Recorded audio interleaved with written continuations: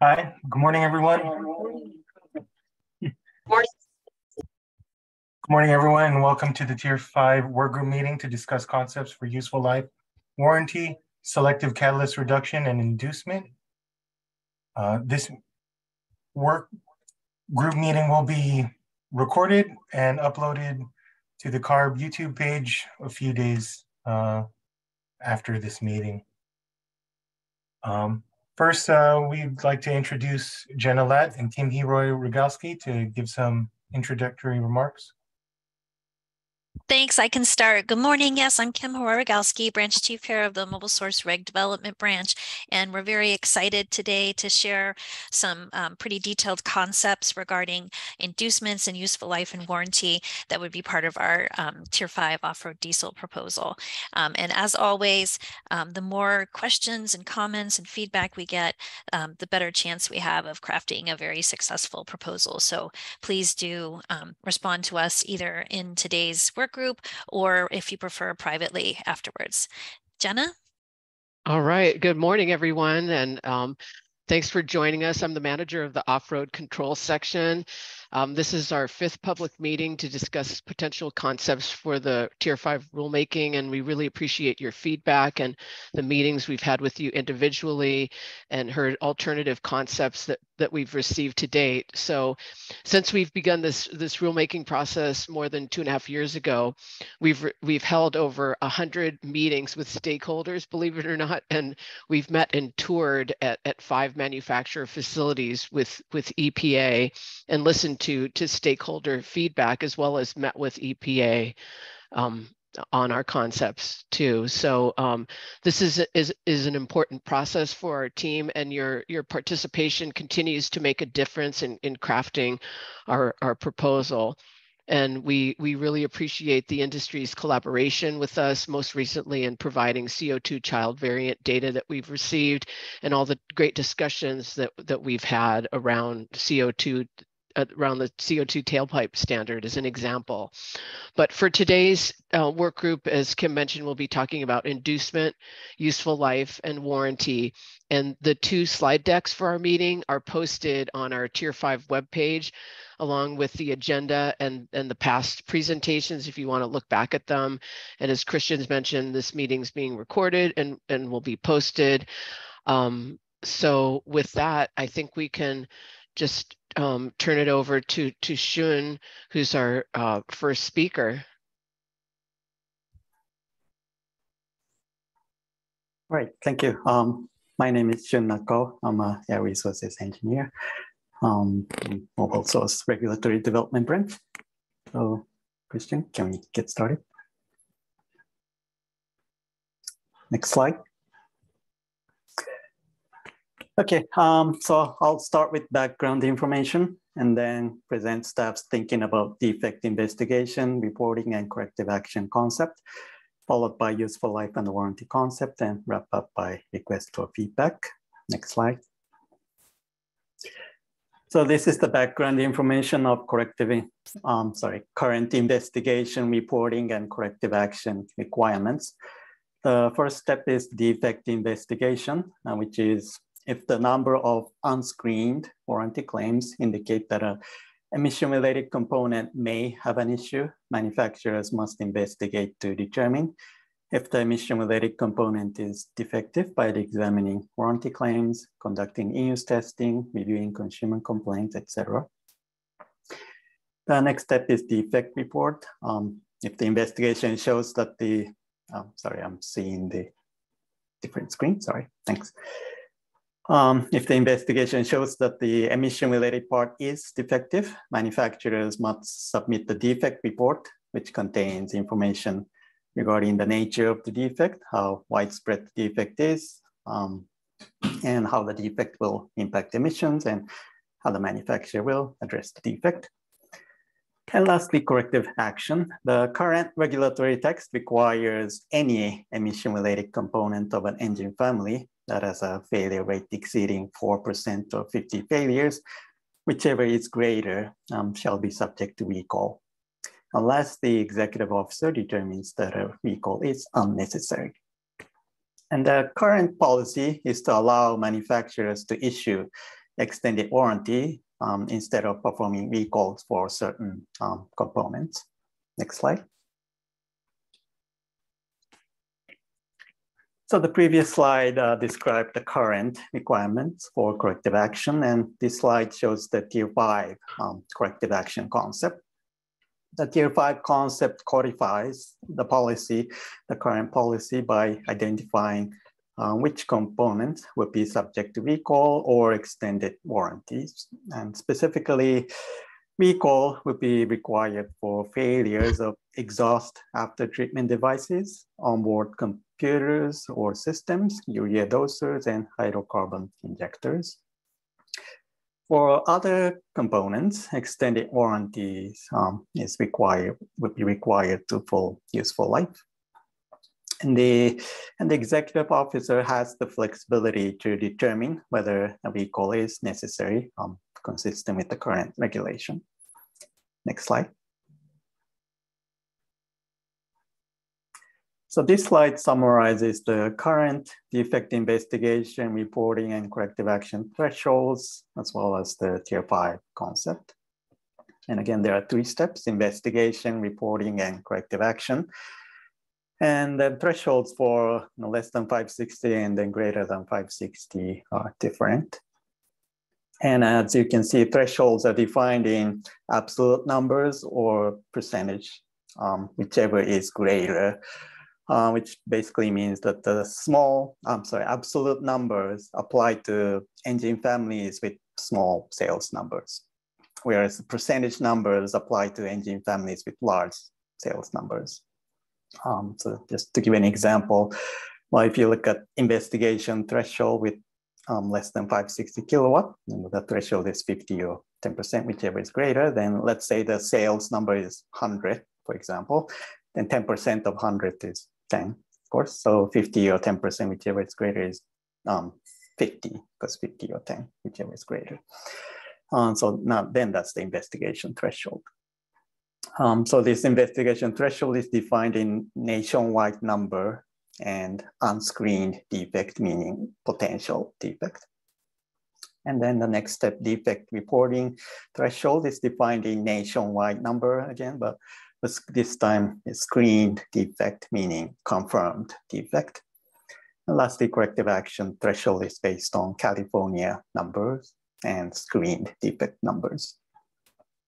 And in the tier five concept, uh, we plan to lower the absolute number threshold only. You know, that, that applies to small sales engine family and while keeping the percentage numbers the same. And next slide shows the rationale. So next slide, please.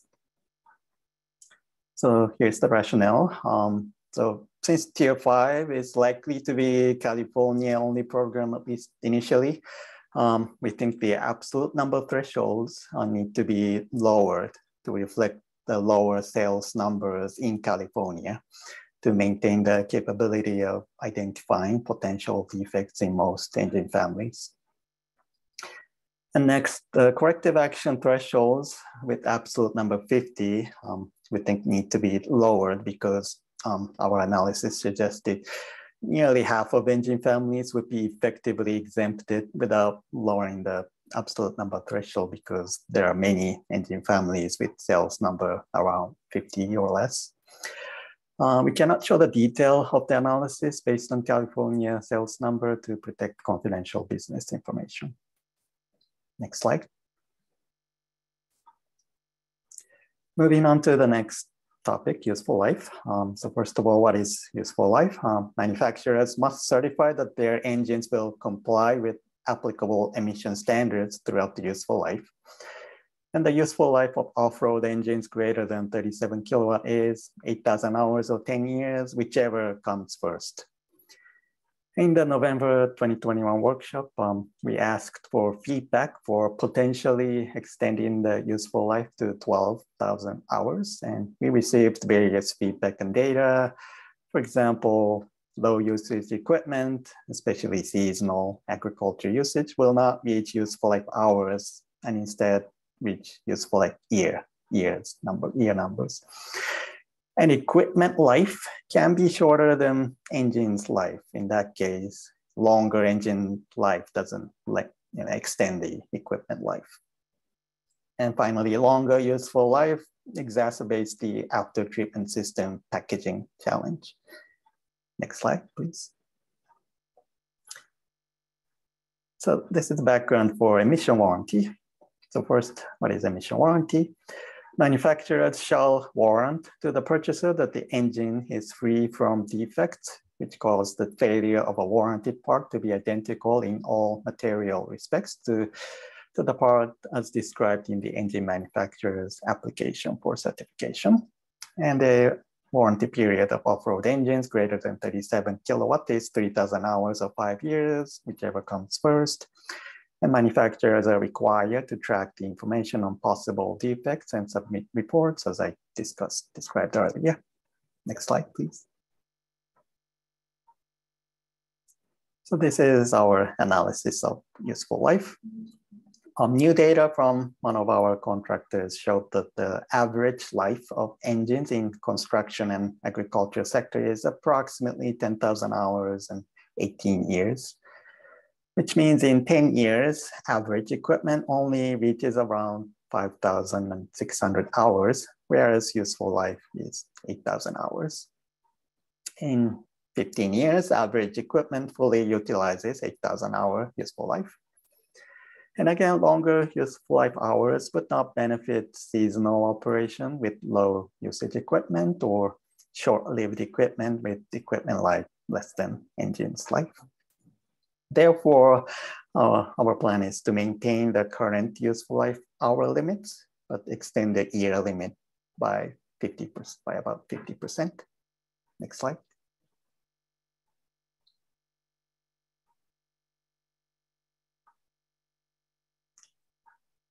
Okay, moving on to warranty. Um, available data suggests uh, most of off-road equipment reach the year limit of warranty periods um, before reaching the hour limit. And uh, recent surveys um, to OEMs conducted by 44 Energy suggested that the cost impact of lengthening only the year limit in useful life and warranty would be small.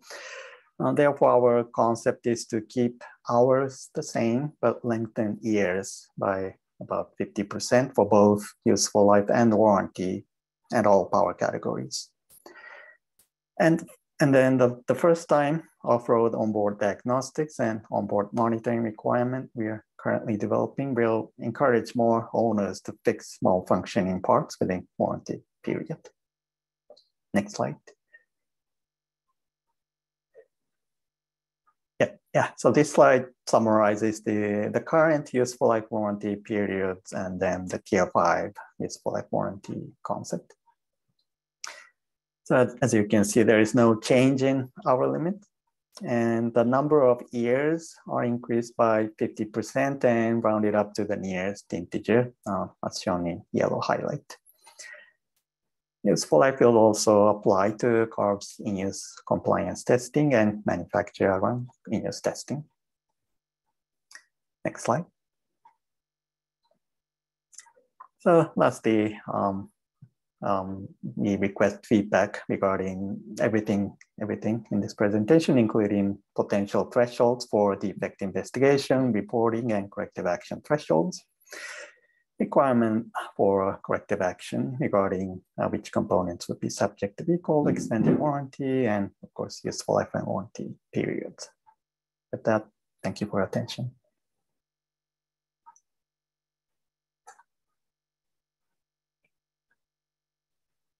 Okay, thank you, Shun. Uh, now we'll go into the question Q&A and discussion section uh, on useful life and warranty. Uh, some housekeeping. Uh, on this side, we have the Zoom webinar details. Uh, uh, if you would like to call in instead and, and the access code associated with that. Um, ways to ask questions is using the Q&A feature in Zoom. Uh, alternatively, you can use the raise hand feature if you want to give a, a verbal uh, comment or question. For those on the phone, you can press pound two to raise your hand and star six when asked to unmute. Uh, we ask that you please state your name and affiliation before you're asked before asking a question or making a comment. Okay, uh, looks like we have our first question in. Oh. Can the link to the PowerPoint deck be provided to the audience? So yes, the PowerPoints are available on the tier five uh, tier five rulemaking website. Uh, the same webpage uh, available to be used to register for this. Uh, I'll try and uh, find a link and then provide it in the chat where, where you can get that.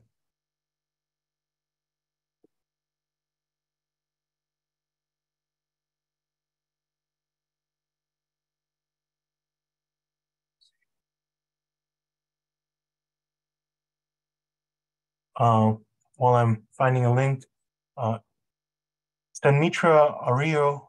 Hi, this is Samitra from Toyota Material Handling. And their question is, onboard computers or systems, does this include anything other than the ECU?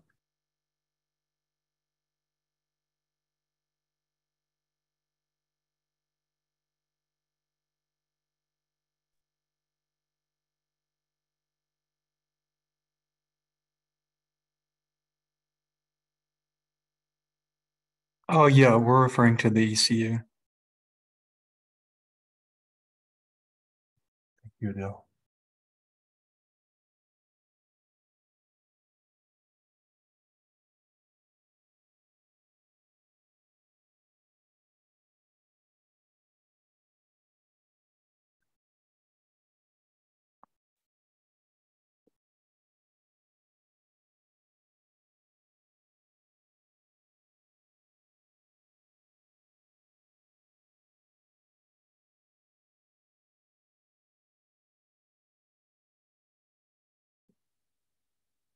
Uh, our next question comes from Brandon Kiss. Can you explain on the study indicating cost impact of extending warranty and useful life years would be a small or can this detail of the study be shared?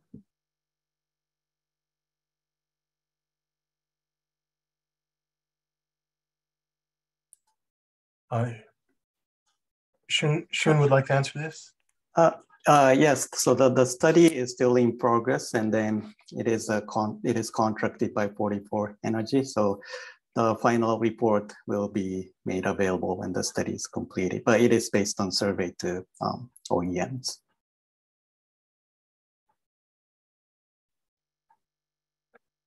Shun. The next question is, hi, is warranty a new concept from tier four final?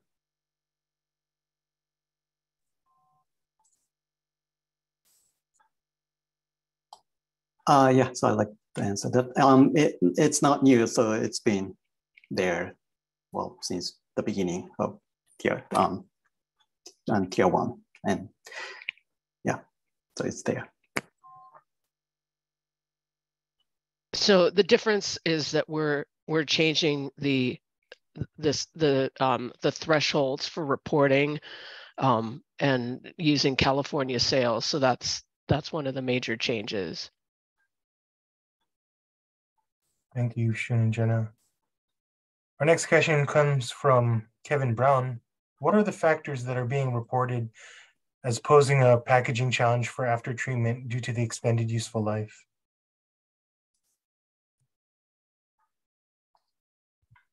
Yeah, I'd like to take, take that. So the feedback we heard from industry is that uh, as the if the useful life hour is lengthened, um, for example, catalyst like your catalyst has to be sized larger. Like you would need more, more amount of catalyst to withstand the longer durability, which can increase the size of SCR catalyst, which can create packaging challenging.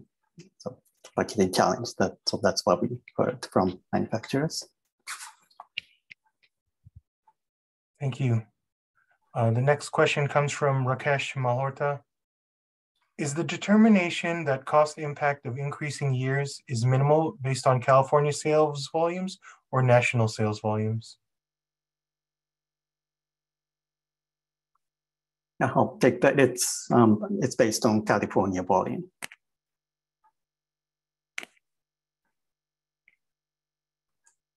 Um, I'm sorry to interrupt, Christian. I think um, mm -hmm. Tom Montez is having difficulty um, unmuting himself. So he he logged off and is logging back in, but just keep an eye on out for him um, when he does, because I think he, he wanted to respond to some of the questions, but could not. I see. Okay, I'll keep an eye for Tom. Thanks.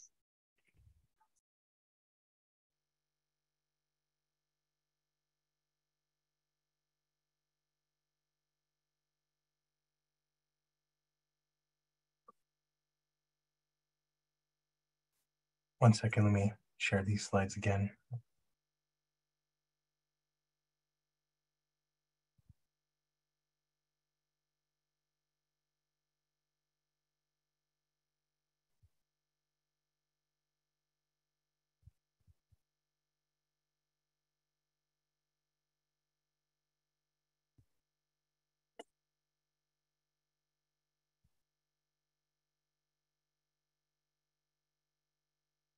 Well, we can take a pause here for, for more questions um, while we wait.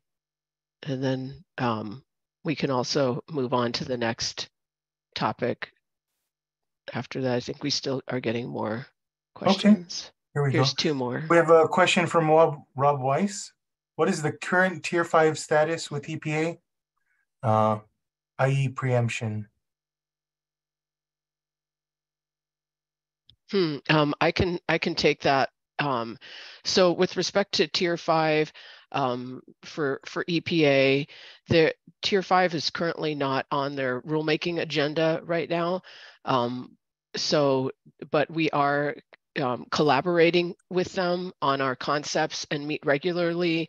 And um, they're they're also you know a, a participant in our demonstration. So um, that's that's the situation with with EPA. I'm not sure what um, I guess that that would answer the preemption question because they would then be, um, you know, regulating preempted uh, engines.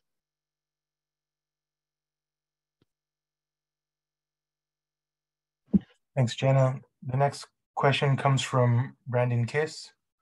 Will 44 Energy study be public? Christian, before you go there, I just wanted to um, add a little bit to what Jenna said. Oh, Um, sorry. Uh, no, my apologies for coming in late. The tier five rulemaking, it's a California rule only. So the warranty uh, extensions that Shun had described would only apply to California non-preempted equipment. Thank you. That's all I wanted to say. Thanks, Jeff. Uh, that previous question was, will the 44 Energy study be public? I can take that one. Um, yes, that that will be public as part of our um, our SRIA document um, next year.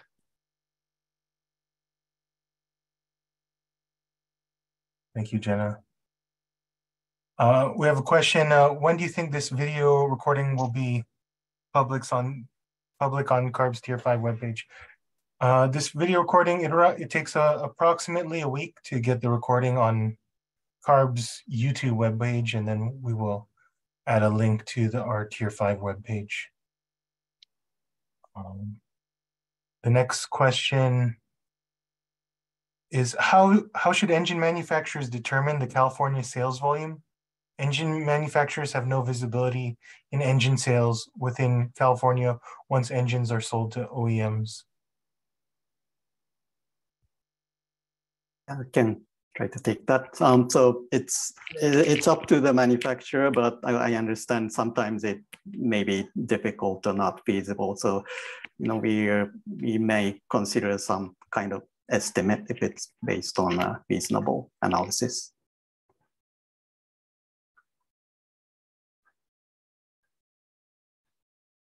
Thanks, Shun.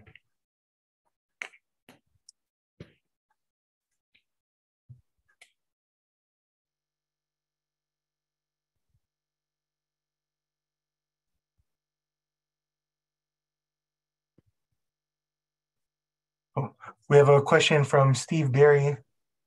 Is Jenna's statement uh, regarding public availability for 44 Energy survey accurate? Uh, survey contains CBI. thanks for clarifying, Steve. Yeah, the survey will not be available. It's not even available to CARB.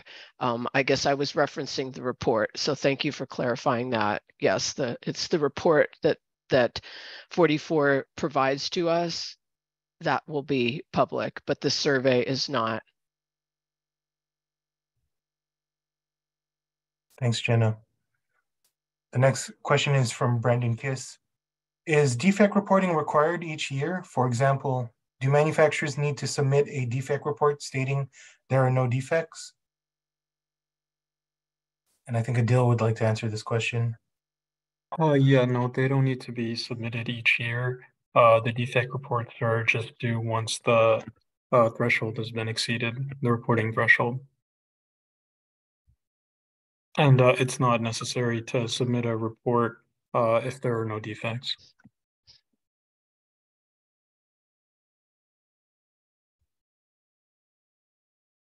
Thanks, Adil.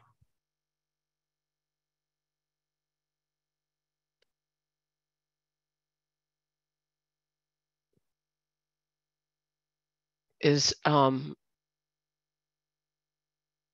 while we take a pause, um, I think that Tom is still uh, is back on, but having trouble unmuting himself. Um, do you happen to see him in the attendees list? I, I don't see Tom.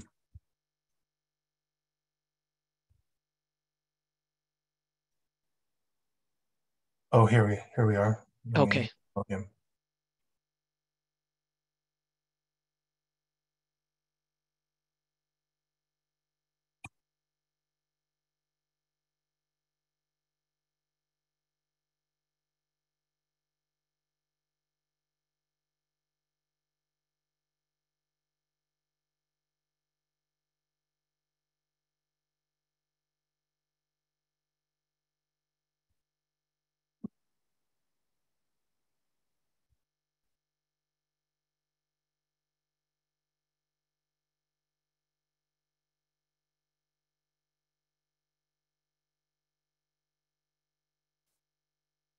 Uh, Tom, did you want to try to to speak to unmute yourself? Will we take a pause? And we have no questions.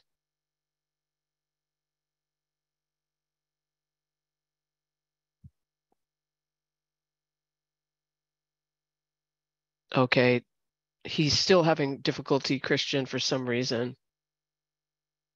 It might be his own microphone. Yeah, I see here on Zoom he's at least in terms of Zoom is unmuted. Maybe there's some hardware.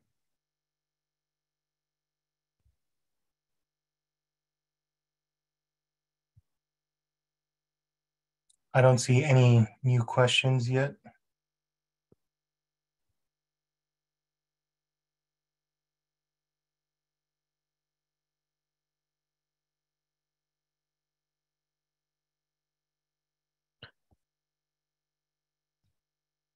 Okay, well, why don't we give it another minute and then we can um, queue up the next presentation by Muslim. And Okay. hopefully Tom can sort that out.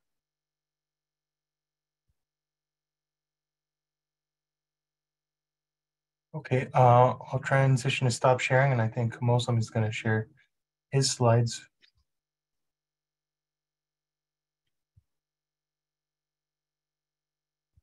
Oh, and while that's happening, Steve Berry has another question. Can you provide the rationale for reducing California only threshold from fifty slash four percent to twelve years and four percent?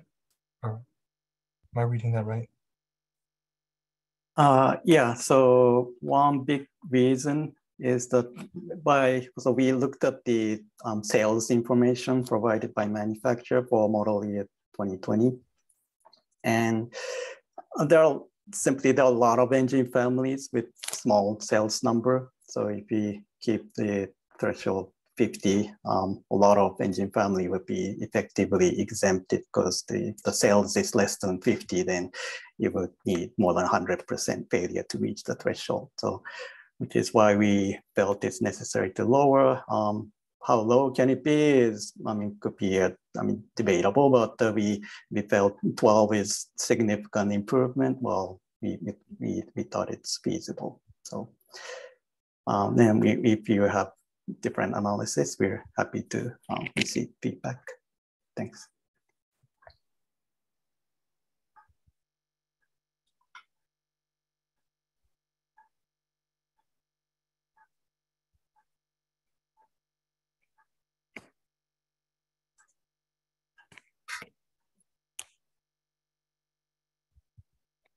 Okay, uh, if there's any questions, more questions on useful life and warranty, we'll, we'll have a general discussion uh, uh, after the inducement talk and inducement uh, discussion section.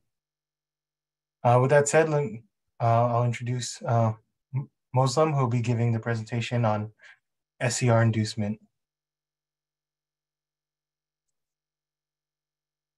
Thank you so much, Christian.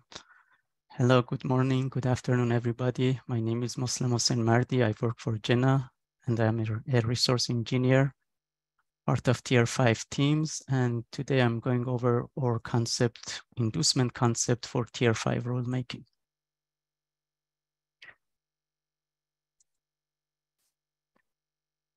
To begin, I would like to extend a warm welcome to all of you attending this work group on the SCR inducement concept for Tier 5 rulemaking. Uh, today, I will be covering the following topics. I'll provide a concise background for the SCR inducement concept and its underlying purpose. I'll delve into the specific details of SCR inducement concept that we are currently considering as part of Tier 5 rulemaking. I'll discuss the types of engine that are covered by SCR inducement concept and its applicability. I'll talk about the inducement schedule, including activation phases and their respective timelines. I'll address the general criteria associated with SCR inducement concept, highlighting the key considerations. And lastly, I kindly request that each of you share your thought and comments on our proposed concepts. And we are open for more discussion about the concept and looking for your comments and feedbacks. So the current SCR inducement serves three main purposes. Firstly, it aims to ensure an adequate supply of diesel exhaust fluid, DEF. Secondly, it aims to promote the use of high quality DEF. And finally, it aims to discourage any tampering or unauthorized modification to the SCR system. These objectives are in place to ensure the effective emission control of the SCR system and to provide the operators with an incentive to address any issue that may hinder the proper operation of the SCR system, thereby reducing available torque.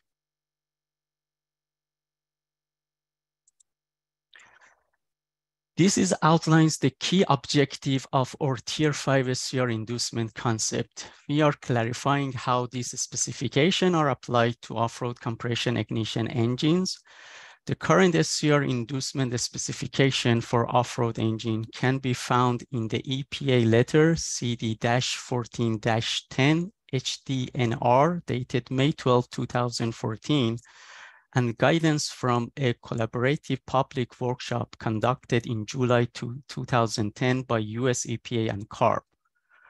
Our primary objective in developing the Tier 5 concept is to align with US EPA and provide clarity on a specification for off-road engine OEMs and ensuring consistency with operators in line with our alignment efforts with US EPA, we will uh, align them, we will codify the emergency override provision as outlined in 40 CFR 1039.665. We will also retain the three critical aspects of SCR inducement, which are DEF level, DEF quality, and tampering. These measures serves as essential means to encourage operators to uphold the proper functioning of a SCR system. CARB is fully committed to upholding and promoting these core objectives. Currently, our focus is solely on inducement for SCR system. However, it's important to note that other emission control systems may have their own independent performance monitoring. This decision is driven by our primary objective of ensuring alignment with the US EPA. However, our stance on this matter may evolve over time as we are maintaining ongoing collaborative with US EPA and remain update on any regulatory changes or development. Model year, engine model year 2029 and later off-road compression ignition engine across all power categories that are electronically controlled and equipped with an SCR system are subject to SCR inducement measures.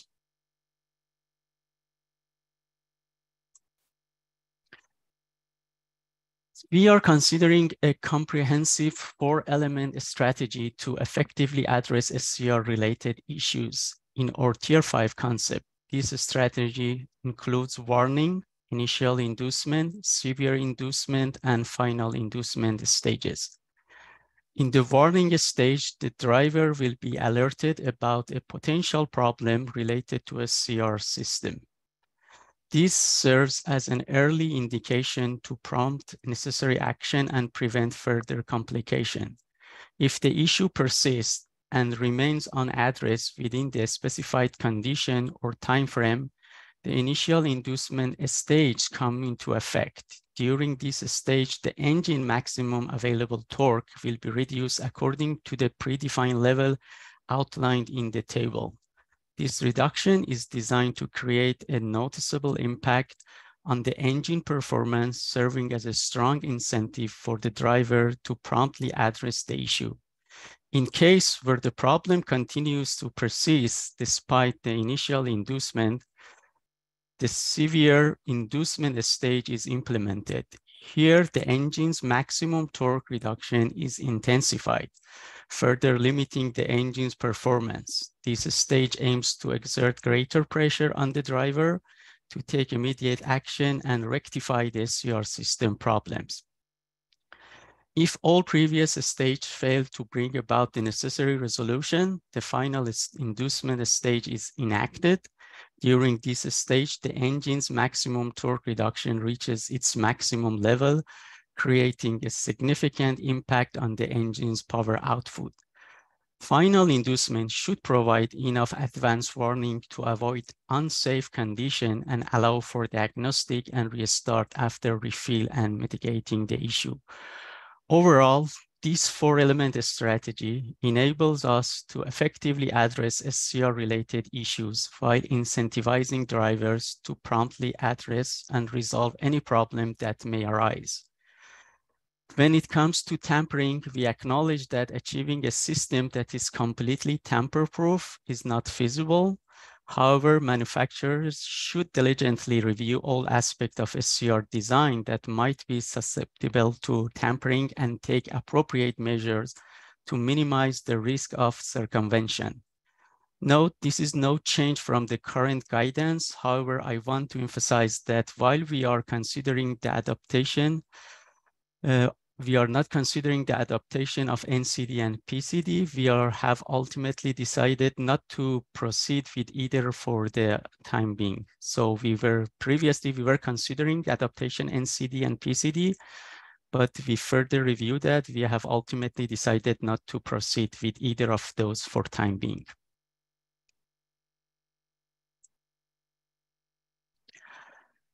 This slide highlights the key aspect of the general criteria for the SCR inducement concept that again are consistent with the current guidance. And let's explore each point in greater details.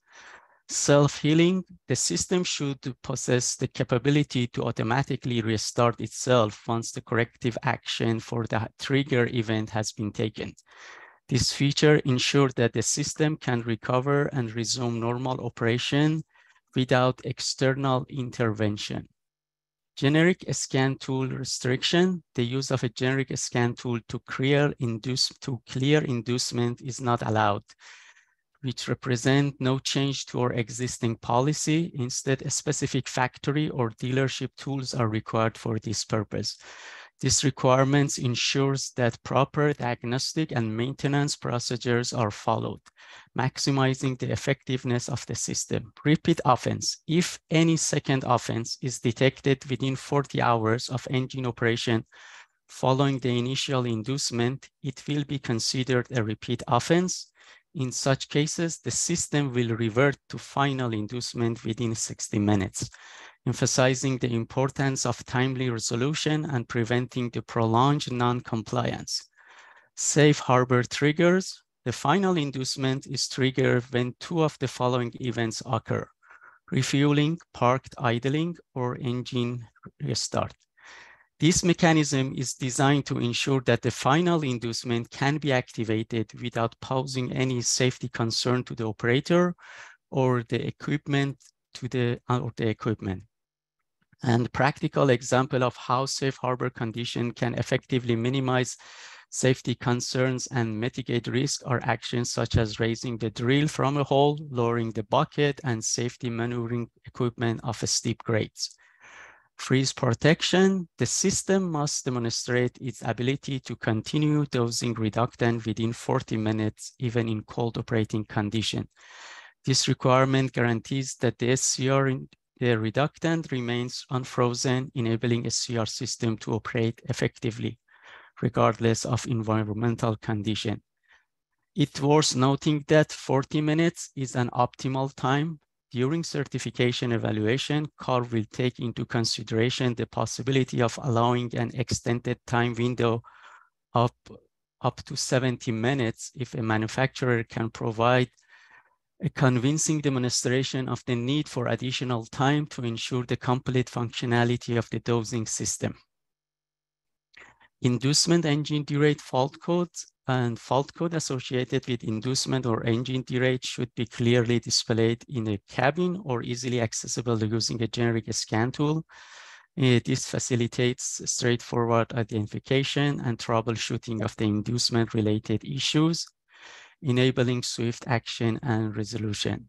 And these criteria are designed to ensure proper operation of the SCR system, timely resolution of any issue that arise, and compliance with relevant regulation. And by adhering to these criteria, engine OEM can provide reliable and effective SCR system that meet emission standard and contribute to a cleaner and more sustainable environment. The purpose of this work group, as I mentioned earlier, is to provide clarity regarding the SCR inducement concept. We encourage your active participation for providing feedback and welcome your valuable input about our proposed concept. And again, we are just want to mention, we are open to more discussion and your feedback for this concept. And uh, this last slide, this is Jenna's contact and my contact, and you are welcome to contact us about this concept and provide your feedback. Thank you for your attention and listening to my presentation. Thank you so much.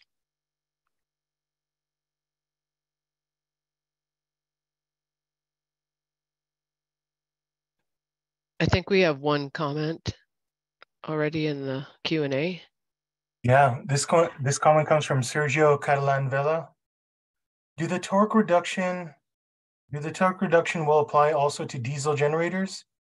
A torque reduction may lead to a blackout on electrical services and may mean dangerous situations.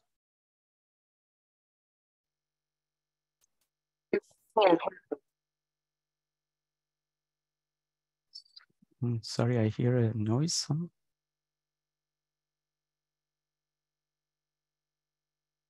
Okay, go, go ahead. Yep. Yes, the torque reduction is also applied to the diesel generators and uh, we are open to your feedback and look into this matter more, but in general, as I mentioned, this uh, SCR inducement concept applied to all the off-road engines which are equipped with SCR systems. So if this uh, generator have SCR system, they are subject to the SCR inducement and torque reduction.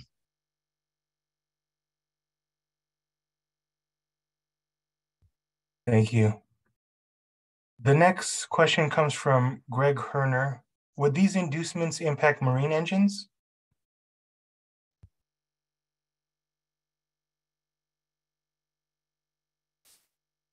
Uh, for time being, we are not considering the marine engine as part of land-based tier mm, four, tier five rulemaking.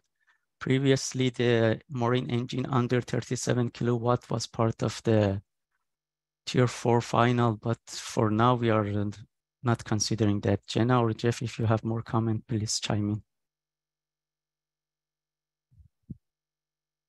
I think you answered it right, Muslim. Um, propulsion less than uh, 50 horsepower, 37 kilowatts.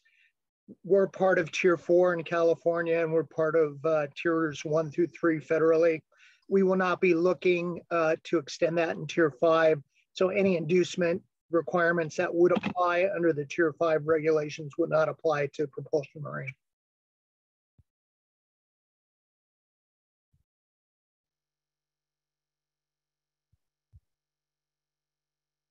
Thanks, Jeff. Thanks, Muslim.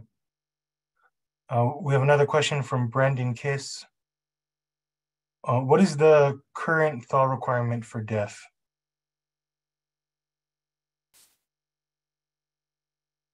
As I mentioned, the optimal uh, thaw requirement for DEF is 40 minutes, but currently it is uh, 70 minutes is acceptable. It's case to cases. So if you have a, a justification and convincing reason for having more time up to 70 minutes uh, during the certification, they can consider that.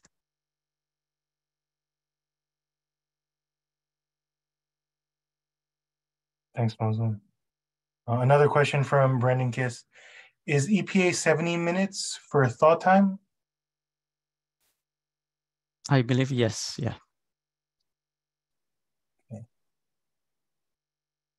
Uh, okay, it looks like we have a hand raised from Frank uh.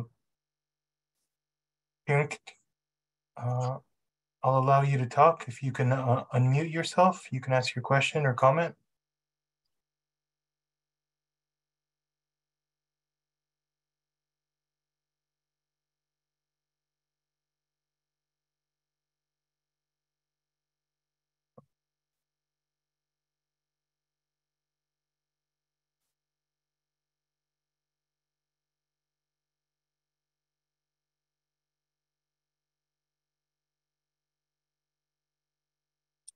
Frank, you can unmute.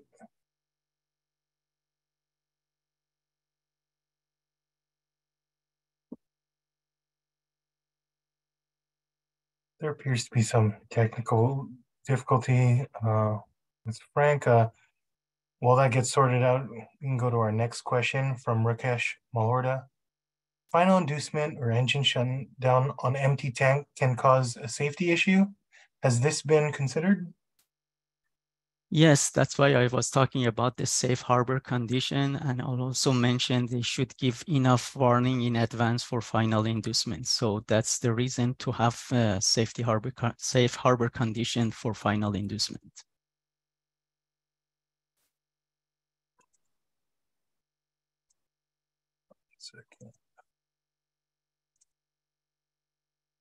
Thanks. Uh, our next question comes from Chad Gergel the 40 minute defreeze requirement is a shift from the current guidance 70 minutes.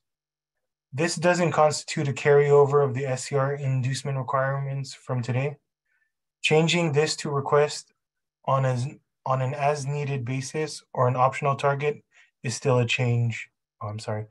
Or an optimal target is still a change.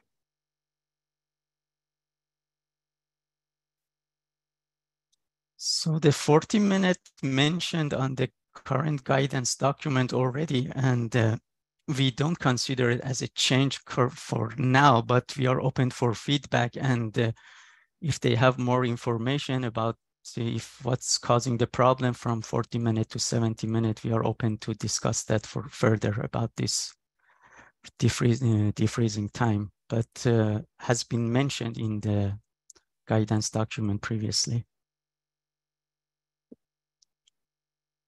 Thanks, Muslim. Our next question comes from Kristen Melville. Would there be any consideration for inducement overrides for equipment used in emergencies? Yes, that's the, when I mentioned 1039.665, that's the consideration for inducement override for equipment. That That's the rec for, we are aligning with US EPA and that use for this override equipment. Thank you. Uh, the next question, hello Muslim. Would SCR tampering fault fall under the generic ECU tampering code when scanning using an OBD2 scanner? Mm -hmm. ECU tampering code. Could you say that one more time, Christian? Sure, I'll read the question. Would SCR tampering fault fall under a generic ECU tampering code when scanned using an OBD2 scanner? Okay. Is, is the question asking um, you know, which fault code to use when tampering is detected?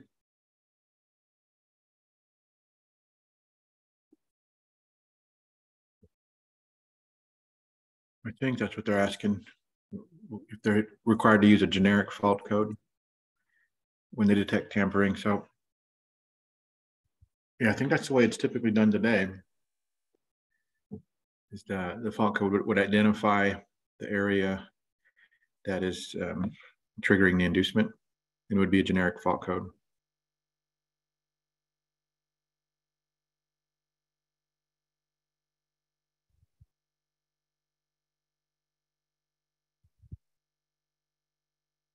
All right, next question. Sure. The next question comes from Mark Scott. For for the thaw testing, are you considering with a frozen urea tank? Are there any engine operating conditions that should be run while testing the thawing?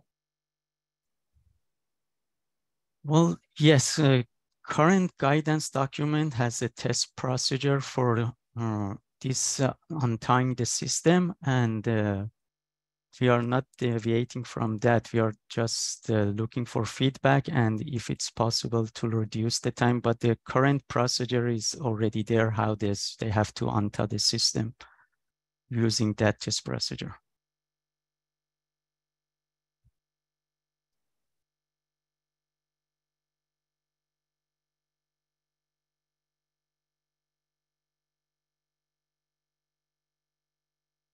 Okay, next question. Next question is from Benjamin Benjamin Misru. How does the rulemaking apply to large diesel engines running HVO?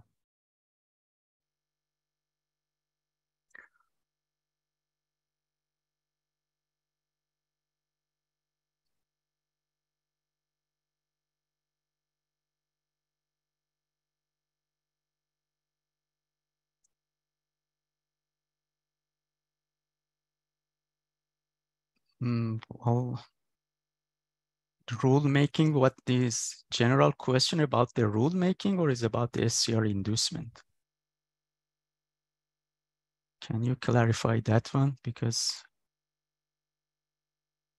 as far as SCR inducement, any uh, diesel engine, as I mentioned on the presentation, within all power categories are equipped with the SCR system, they are subject to the SCR inducement uh, concept.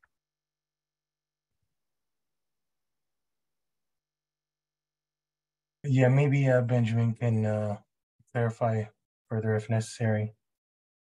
Our next question comes from Ali Cruz. Uh, I was late to the presentation, my apologies. Will the PowerPoint be available to the attendees? Uh, where do I find it? Uh, I'll uh, type in an answer for the link to our tier five webpage where the slides are available.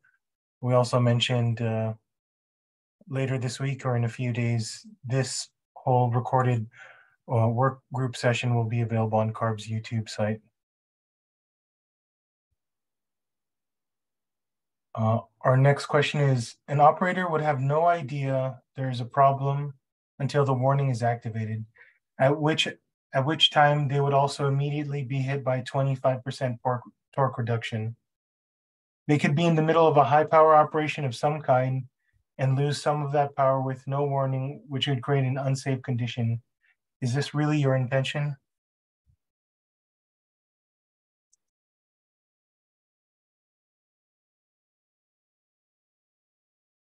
I don't believe the 25% torque reduction causing that uh, kind of chaos because that's the that's the actually considered as an initial initial inducement or initial warning to the operator. And uh, for as far as I know, based on the guidance, there are, should be enough warning and like audible chime for operator to know that the inducement is going to happen and can uh, react and respond to the warning before uh, to to take action and uh, anybody from CERT, if they have more comments, please go ahead. But 25% torque, I don't think that's like a very big uh, mm, effect on the system, even the high power operations.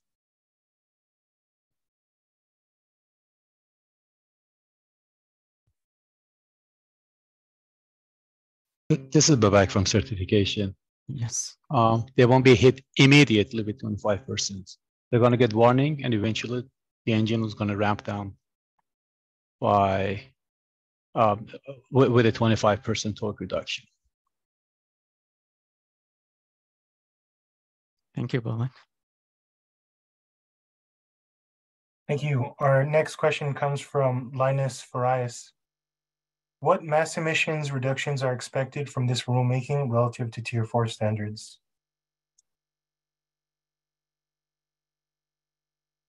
Yeah, I can take that one. So tier four is is a 0.4 grams per kilowatt hour standard. And for the um, 50, 56 to 560 range, we're considering a 90% reduction, which would be a 0.04 grams per kilowatt um, hour standard.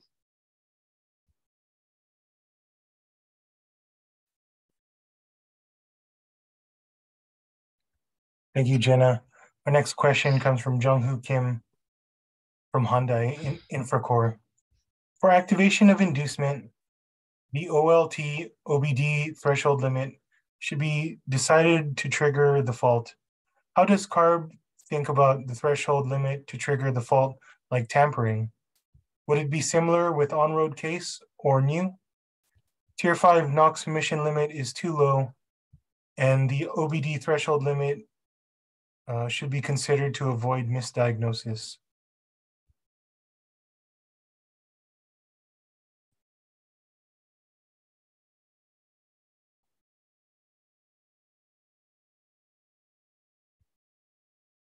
I, yeah, this is Tom. Let me see if I can help with that one. I think as far as the, the tampering uh, threshold limits, that would be defined on the previous slide. Right? The, was that slide six? So anytime one of those triggers are exceeded, that would, um, whether by tampering or whether by an actual fault, I think the thresholds would be the same. Can we flip to flight slide six, please, Muslim? Yeah.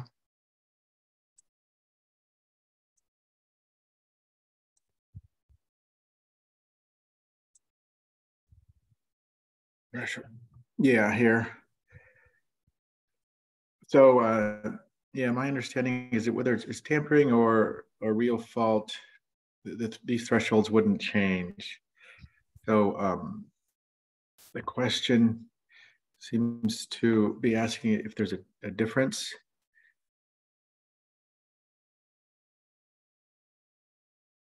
Yeah, we, we typically don't have a different uh, tampering threshold.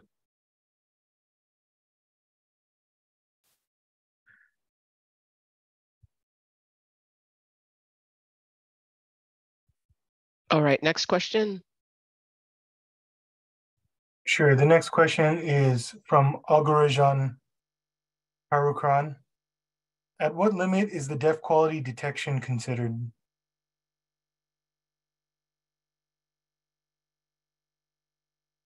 Yeah, we, I think we talked about that one Sure. previously, right? if I remember right, Jenna, the DEF quality uh, threshold is set at what the tier four final uh, NOx limit. That's right. Um, I, I mean, that's that's currently not in the guidance documents, but it's at, at 0.4 grams per kilowatt hour. We're looking for feedback on that. Um, typically, you know, we're looking to detect a loss in, in SCR efficiency. Yeah, mm-hmm. I just want to chime in and add they have to maintain the minimum DEF quality so they maintain the compliance. So if they don't keep the compliance, that means the DEF quality is poor and they have to consider that one. Thank you. The next question is from Bruce Isef. Sorry. Will Tier 5 require annual inspections and reporting, such as the new Clean Truck Act? So um, I'll take that. Right now, we are not contemplating a um, an inspection and reporting program um, similar to what we have as the the new clean truck. Um, I, I, think I think you're referring to the heavy duty um, inspection and maintenance program, which has a new name, and I can't think of it at the off the top of our head. So I'll only talk about with respect to CARBs programs. So the answer is no. Thanks. The next question is from Rakesh Malhotra. Follow up to my previous question, final inducement is triggered only after two of the safe harbor triggers have occurred? Sorry.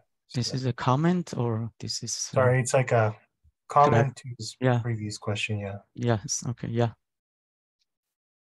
Okay, the next, oh, this uh, Benjamin also followed, uh, followed up on his previous question. Uh, he said it was a general question. Okay. The, the next question here is from Hu Zhang. Does it apply to SCR systems installed on less than 56 kilowatts or if only for greater than 46 kilowatt SCR engines? All power categories with SCR system, they're subject to SCR inducement concept. Thank you. Uh, we have uh, another one from Jung-Hoo Kim. DEF quality tampering threshold is the same as emissions threshold. How about other tamperings like NOx sensor or SCR temperature sensor? Are these thresholds also the same emission limit?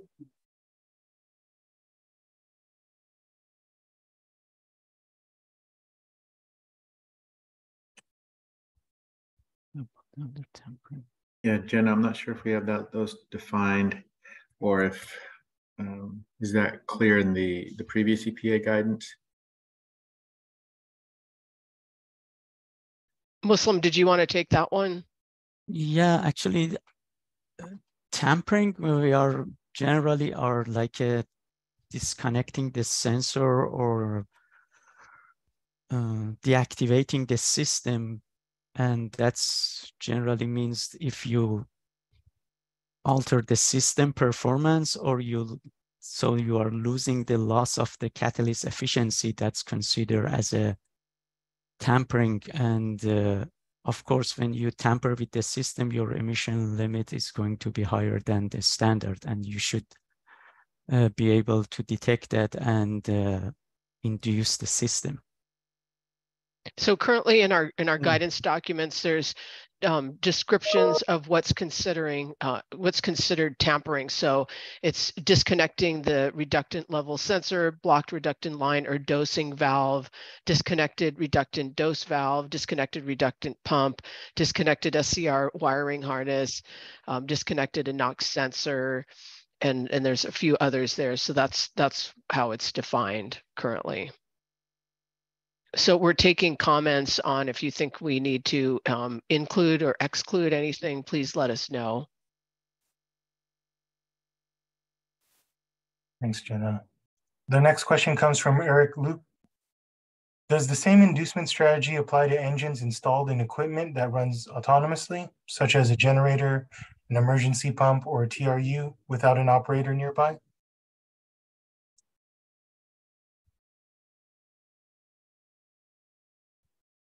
Go ahead, Muslim. Sure. So, so SCR inducement are applied to generator. TRU is not part of the tier five rulemaking and uh, emergency pump, I believe they are under the emergency equipment and uh, uh, I have we have to look to into this, but I don't think emerge if this uh, certified as an emergency equipment, they are shouldn't be uh, subject to a SCR inducement. But we are going to look into this further. Yeah, I don't know if emergency pumps are included um, in that definition. So if you want to pro provide us feedback to to add that in, we'd, we'd certainly take that um, into consideration.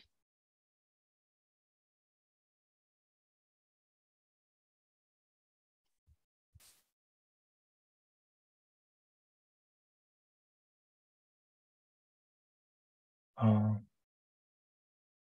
I don't know if uh, Frank uh, was uh, calling in, would like to unmute and ask his question. You may do so now.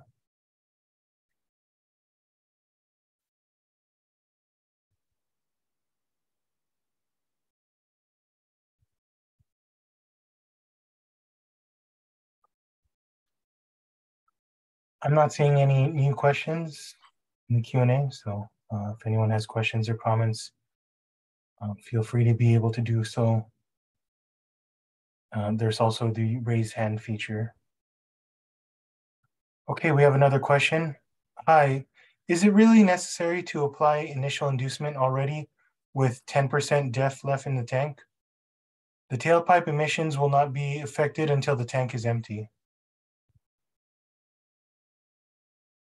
So the purpose of the initial inducement is for the operator to take action um, in advance and uh, doesn't wait up to the empty tank. So that's the main purpose. So you should, you should always run on full tank or at least enough level of the DEF in your tank. And uh, these numbers we are putting here based on the guidance document, but we are open for the feedback and your comments on the level you seems appropriate. But as far as the initial inducement and the percentage is for doing the in advance uh, rectifying the problem before reaching the critical situations.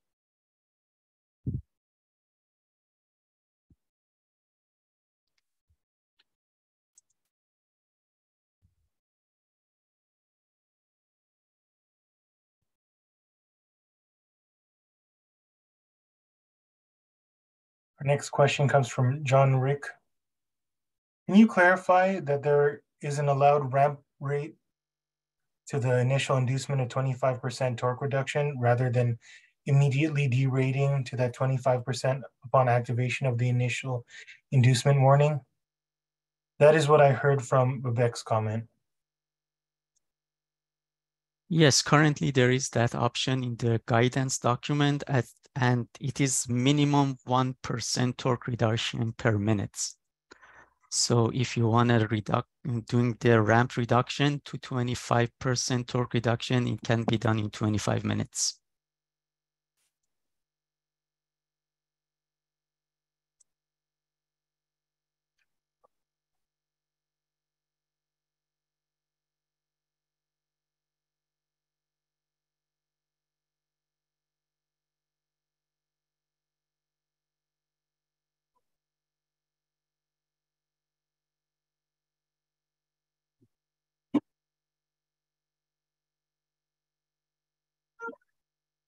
Apparently, we, We- don't have any new que- new questions.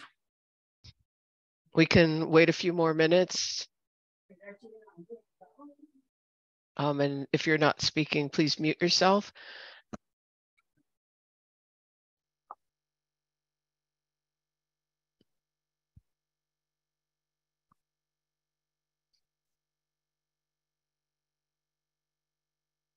I guess while we, we take this pause, um, Oh, I see one did come in, but I will reiterate that if you want to have, if you, if you have specific comments on inducement, useful life or warranty, feel free to, or suggestions um, to make it a, a better program or you have questions, you can always email us directly or email our, our tier five um, email address. It's, it's tier five at arb.ca.gov.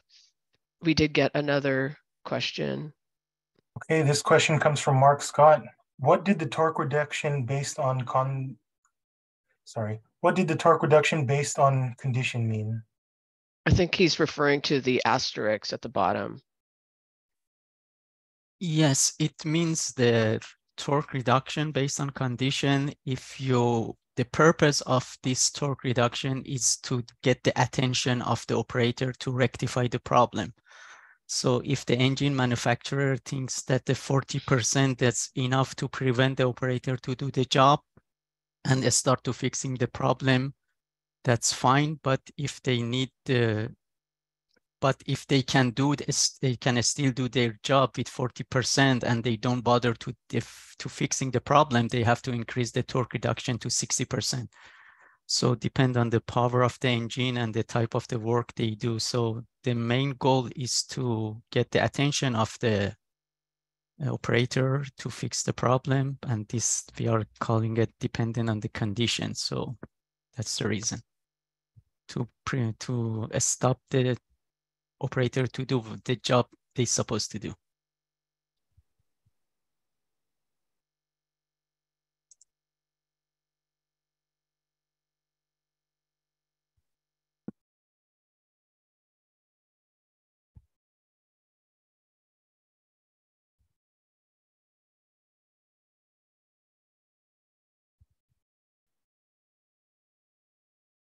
Thanks. We're still available for more questions. There's currently no questions in the queue.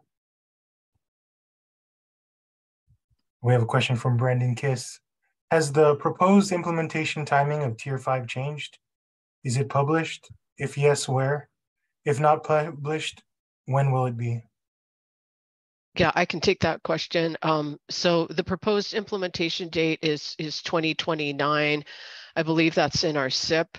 Um, and it's also in the gov delivery that we just um, put out in order for you to to register for this work work group so that that I um, I think it's there. Um, and then we'll be actually releasing our our proposal for the entire tier five um, in late summer. And so we'll have more detailed more details about um, implementation then.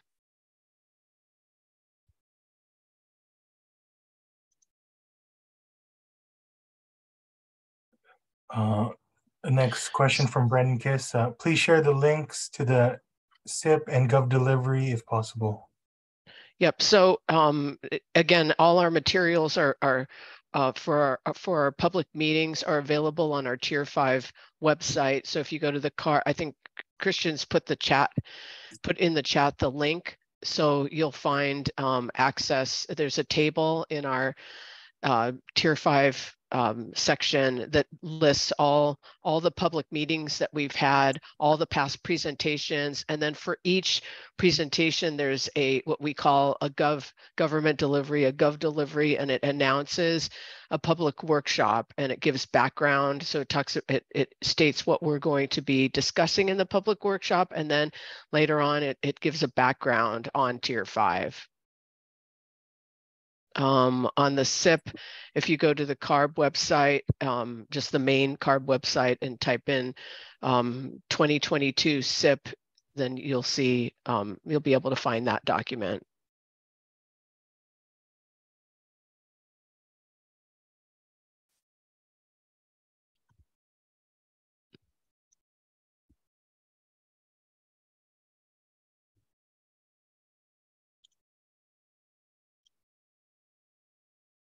So I see another question. It's directed at me at Jenna. Is late summer Is the late summer release of the Tier 5 requirements a draft rule or just a list of concepts?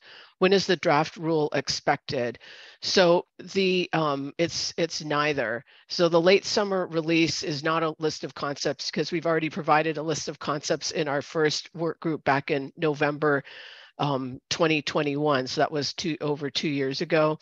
Um, so the the work group that or the workshop that I'm referencing in late summer will be a complete um, description of, of what we're proposing um, for tier five. So we've had, if you've participated in past workshops, we've or work group meetings, we've um, described concepts that we're considering, and then we've met with stakeholders one-on-one. -on -one. We've also um, uh, met with EMA and and folks have provide us provided us with alternative concepts that we've considered and in some cases we're trying to to implement those suggestions. So that's what the um, the proposal will look like in late summer. And then um, in terms of a draft rule i think you're talking about i imagine you're talking about rule language and that would be um, later on in the process. I would i would I, I don't have timing on that, but um, I think it would likely be next year. I don't know, Jeff, if you want to chime in on this. Yeah, I was just going to say it'll be in 2024. Yep, which is next year.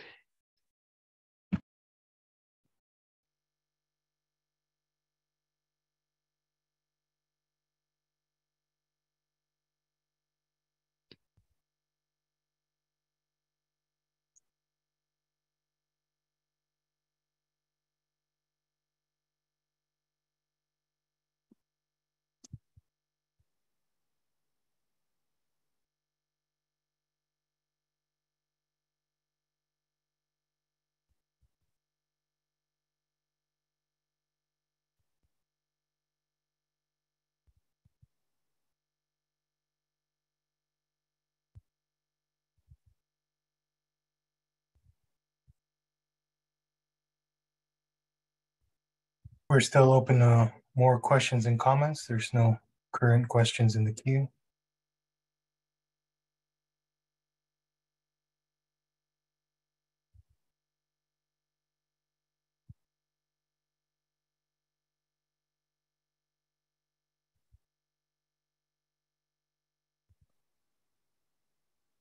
All right. Well, it doesn't appear to, there don't appear, oh, here's one more.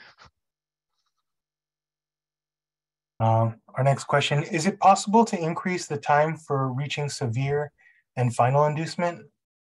No service technician will be able to investigate or repair the engine within four hours.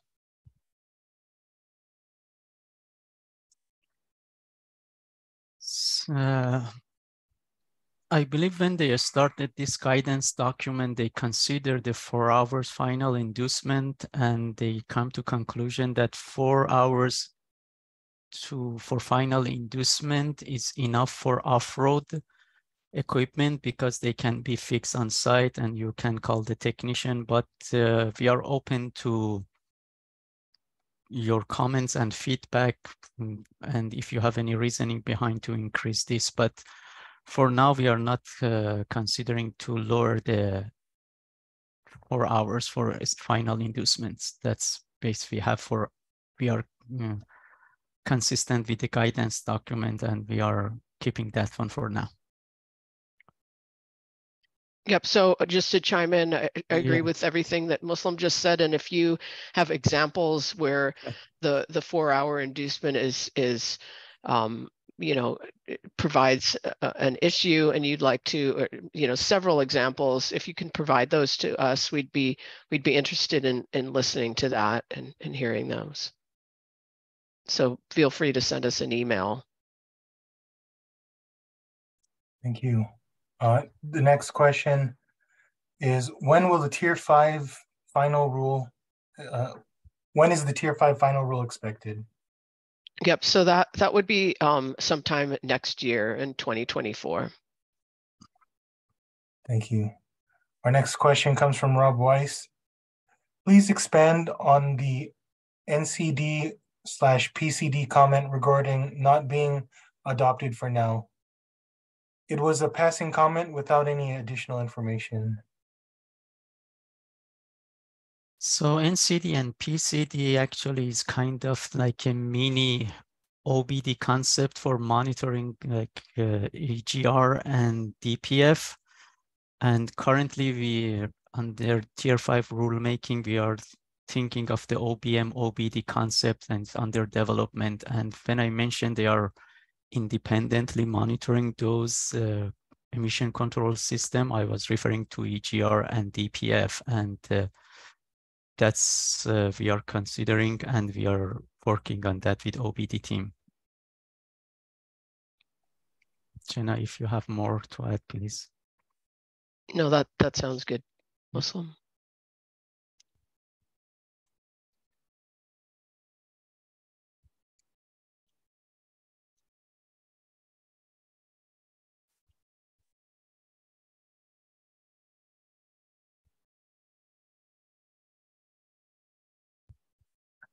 Our next question comes from Andy Noble. When is the next workshop covering OBD planned?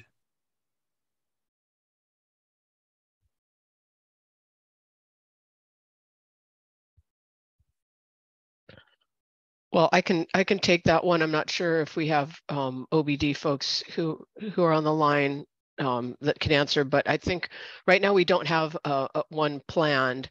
Um, but what what we do, I think what our our strategy is to include OBD in our in our late summer workshop. So we'll have more information on on um, the OBD concept during that workshop. And then um, in addition to that, we I think the OBD folks have released their um, their concept at, at an EMA meeting. Um, and um, so so there was a lot of information provided at the, the EMA uh, workshop. I think it was in May, if I'm not mistaken.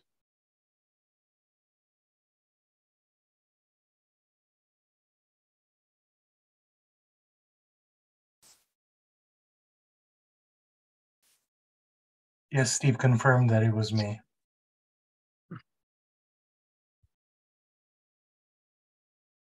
Um, Jenna, just to follow up on that OBD question, I thought we were waiting for um, EMA and manufacturers input on that May OBD um, proposal.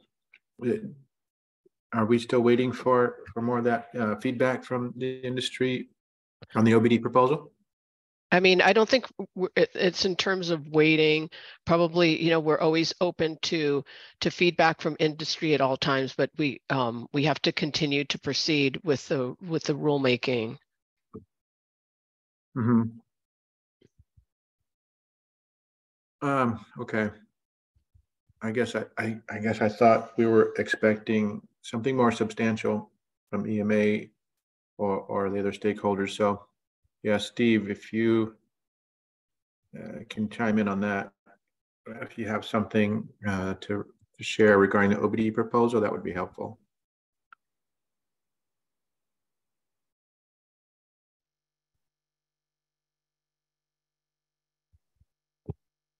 Ah, good.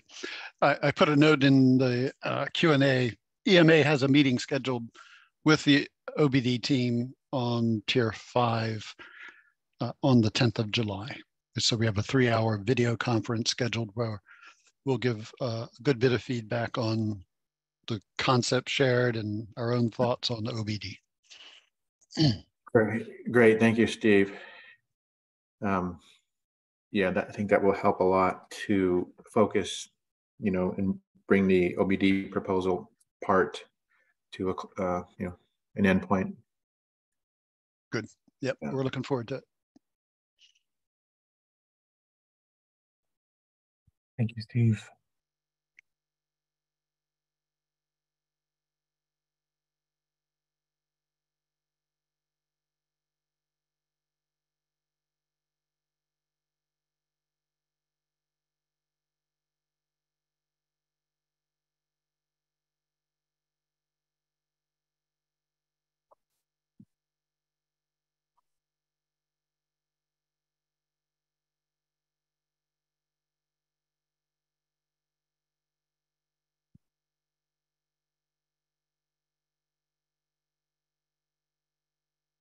I don't see any more questions in our Q and A or anyone's hands raised.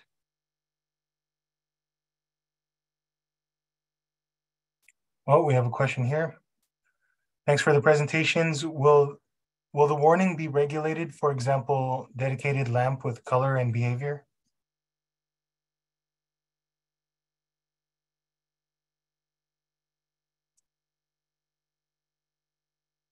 So currently we are following whatever is uh, identified and mentioned on the guidance document and uh, we are thinking to keep as it is for now but we are open to feedback or comments regarding that from the industry and engine manufacturers.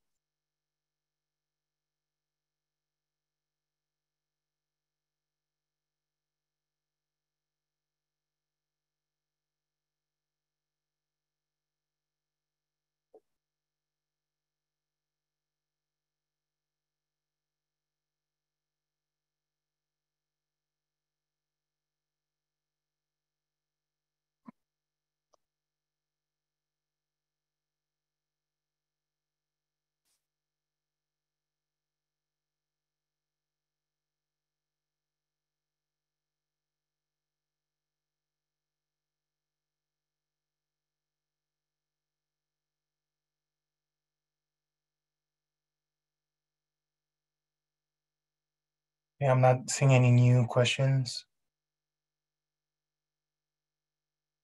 Okay, just in response to that that question, also, um, we we don't tell manufacturers what learn what their warning light is besides just having a light. I think that's that's the the standard policy at least. So some manufacturers have beeping with light, or some just have a light.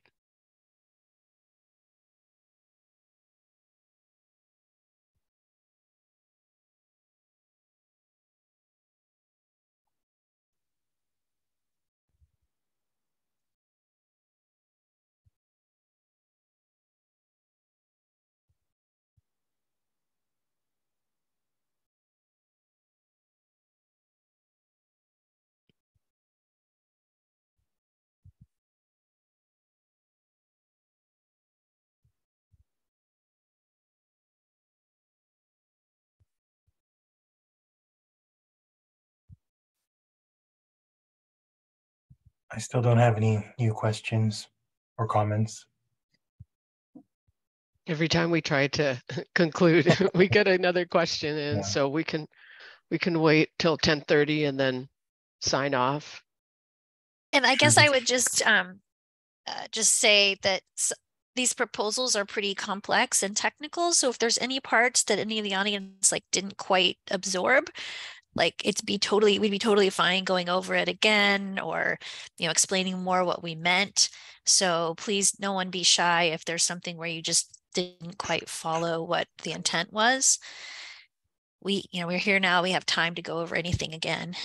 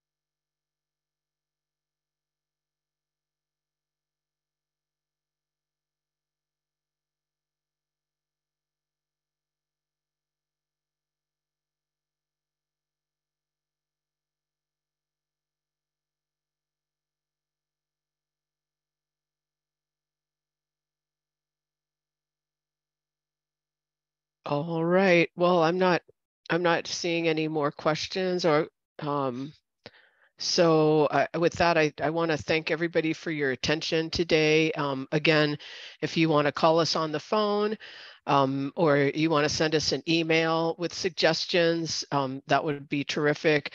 We are planning, as I mentioned, to have our, our next workshop meeting in late summer. I don't have a date on that where we'll go over our full proposal and then we're going to be going to the board in June 2025 and then implementation should begin, you know, with implementation beginning in, in 2029. Um, so thanks again for, for attending. And this will be posted, the recording. Thank you. Thank you so Thank much. you. Have a good day. Bye-bye.